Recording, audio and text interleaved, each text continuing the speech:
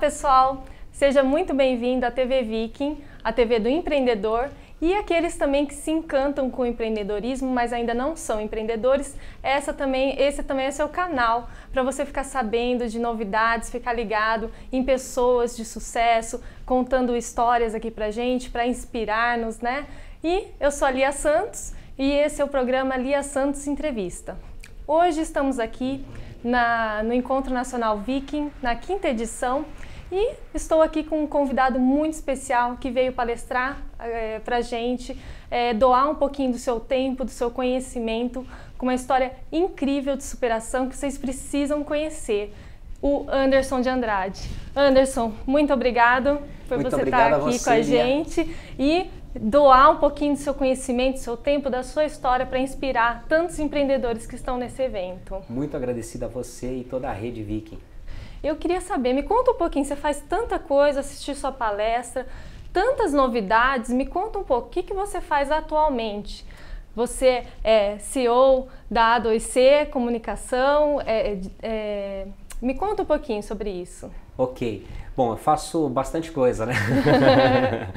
é, eu sou fundador e diretor executivo da A2C, que é uma agência de comunicação que já está há 15 anos no mercado. É uma agência, hoje é uma das maiores agências independentes no país, atende empresas de grande porte, né, com escritórios em Joinville, São Paulo, com mais de, de 100 eh, colaboradores. Né. Sou presidente da Brad Nacional, que é a Associação Brasileira dos Agentes e das Agências Digitais. É, é a entidade que representa e organiza esse setor no país, é presente em mais de 14 estados.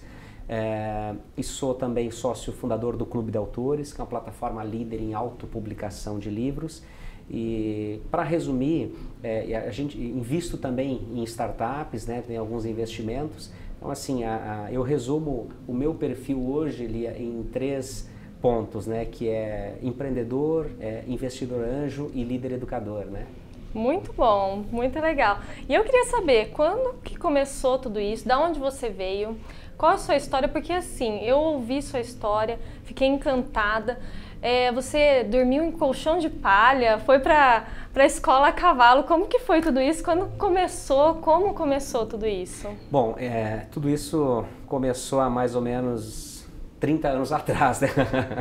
de certa forma. Mas assim, é, na verdade, eu, eu, nasci no interior do Rio Grande do Sul, né, foi, e come, nasci numa região longe da cidade e, e, de fato, na época e pelas condições, é, a gente não tinha, não tinha muita coisa em termos de, de, de recurso, de estrutura, né? Tudo era muito precário, então não tinha água é, é, encanada, não tinha água quente, não tinha água fria, não tinha energia, não tinha televisão, só tinha rádio, aqueles rádio a pilha ainda. Nossa. Então as condições eram eram bem adversas nesse aspecto.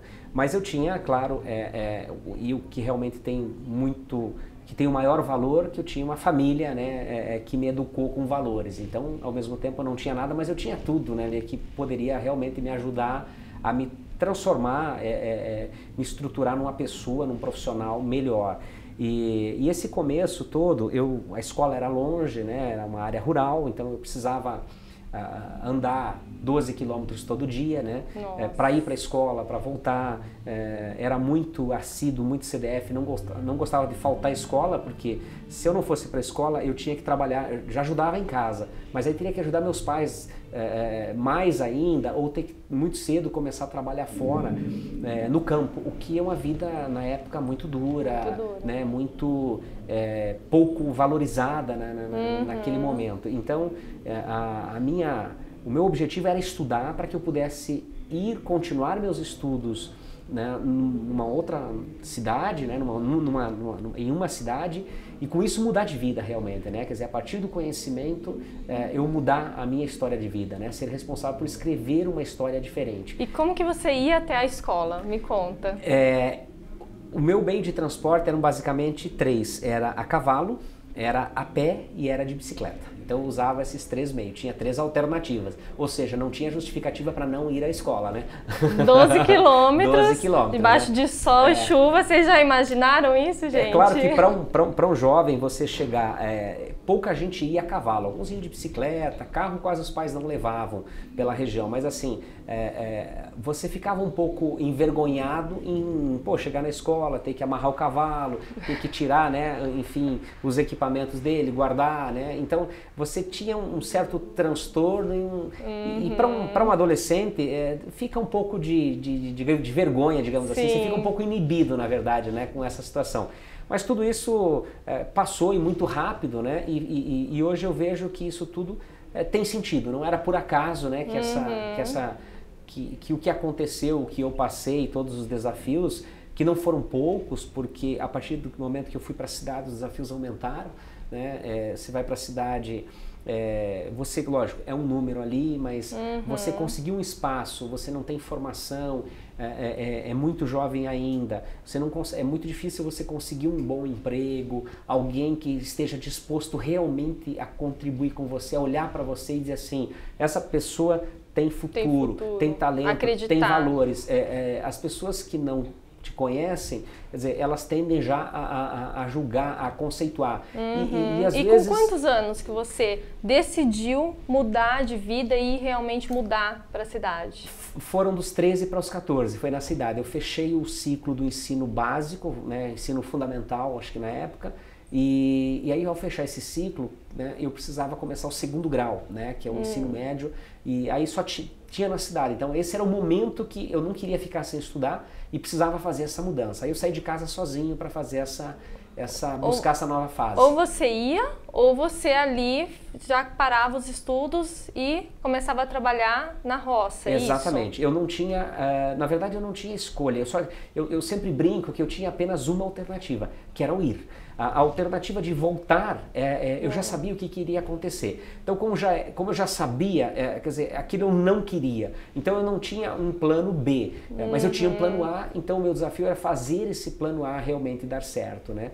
E tem um ponto importante aí, Elia, que é, eu até não, não citei na, na palestra uhum. anteriormente, mas colocando agora aqui, é, eu me inspirei em alguns. Meu pai era, era foi funcionário público estadual, é, fiscal sanitário rural.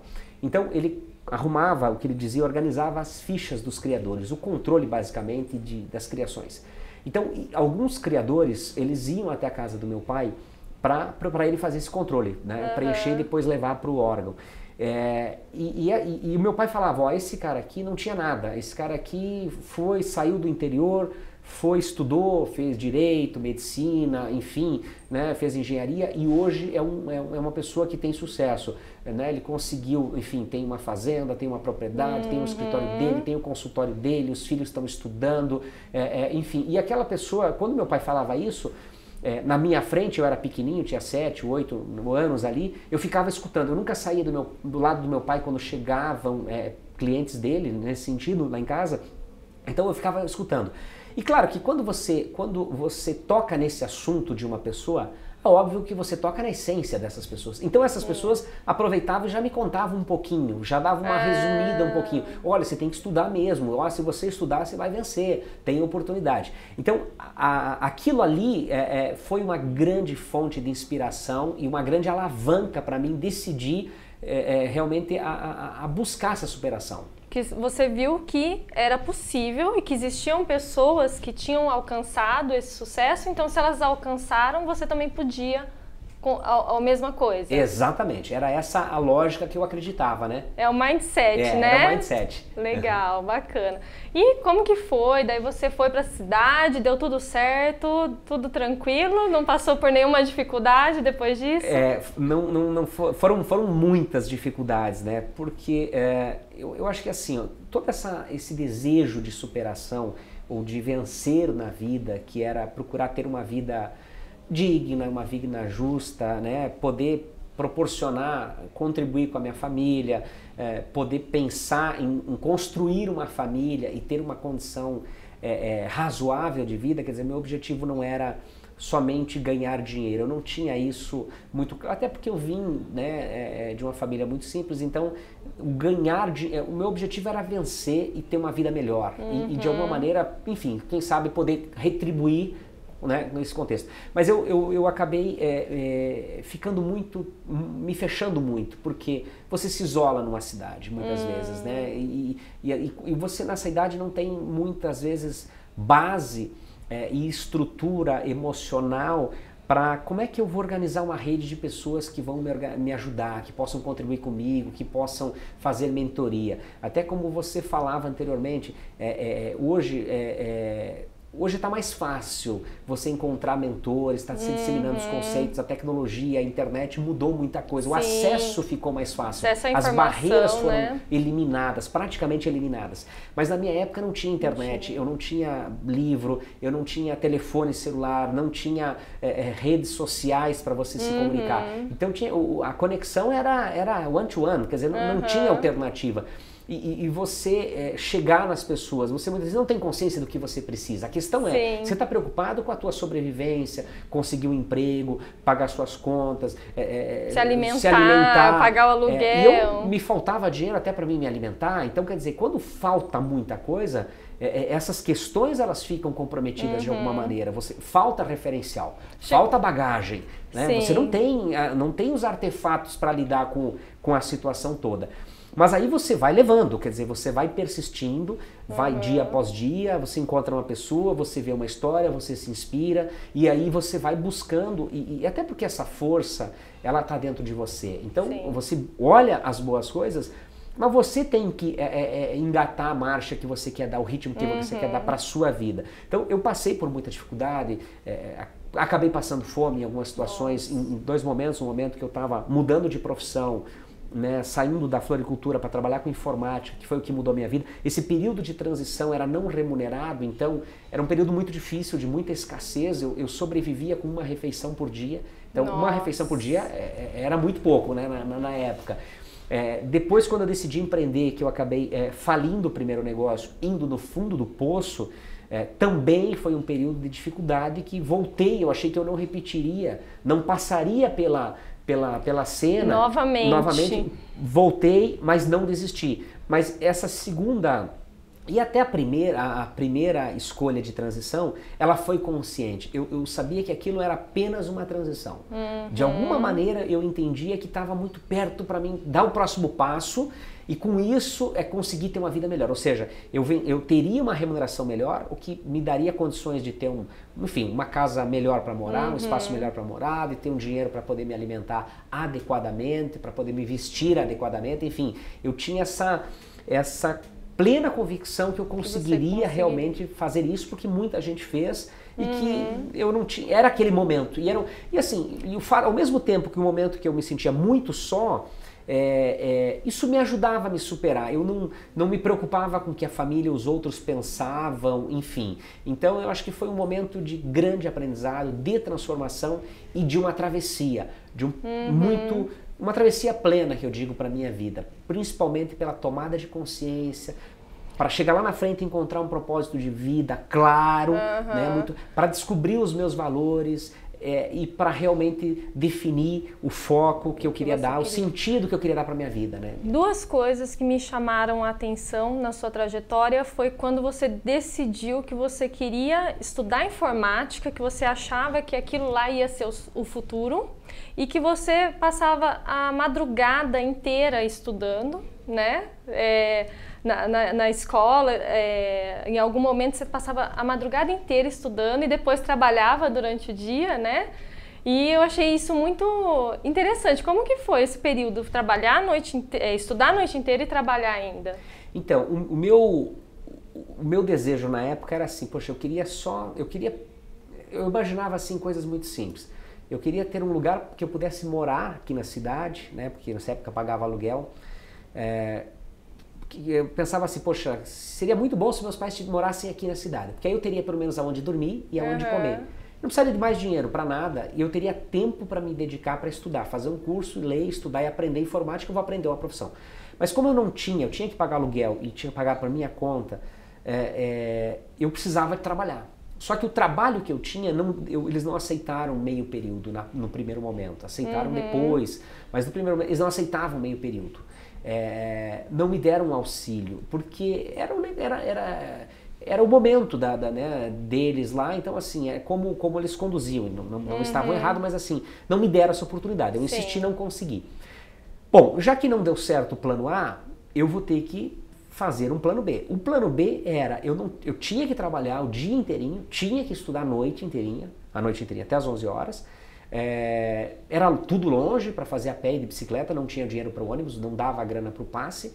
Então, assim, a única forma e, é, que eu tinha era eu vou ter que aprender da meia-noite às seis. Como uhum. a gente diz, o que você faz da meia-noite às seis? Da meia-noite às seis. Né? Então, de fato, eu tive que pegar aquele tempo pelo menos três vezes por semana, lá num clube comercial da cidade. O meu colega que estudava comigo deixou usar os computadores lá. E, e, nesse período eu fui aprendendo a mexer, olhava os livros e fiquei esse período não. Aí eu, logicamente, não tinha como dormir. Eu ia trabalhar sem dormir. Então, então eu fiz isso por um período de seis a oito meses. E aí, quando eu comecei senti que aprendi alguma coisa, eu falei, agora eu vou, eu vou né, Investir né, decidir.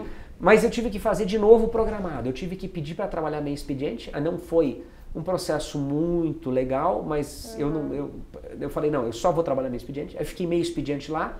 Mas assim, aí você fica servindo dois senhores, mas eu já estava certo da minha transição. Então uhum. não estava mais preocupado com aquele lá, estava preocupado com o outro mas cumpri honestamente os combinados e fiz a transição. No momento que eu consegui uma vaga de, de monitor de sala de aula e de, de, de, de monitor já não remunerado, é, eu estava nesse processo de expediente e logo em seguida eu fui contratado. Aí eu larguei. Aí, uhum. aí a minha vida realmente começou, começou opa, consegui mudar de emprego e mudar de profissão, opa, agora sim, realmente, agora, agora vai, aquela sensação de que agora vai, né? E outro ponto que me chamou a atenção foi um livro que você falou que leu, que mudou um pouco o seu mindset para um novo desafio, para acreditar que você podia. Me fala um pouquinho, como foi? Eu, nessa, nesse período, porque assim, ó, quando, quando você está nessa fase aí dos 14, 17 anos, é uma fase que na, na, na minha juventude eu eu me questionava muito. Eu acho que eu imagino que todos os jovens passam por esses momentos de extremas indecisões. O que, que eu vou dar? vou dar alguma coisa? Não vou dar em nada?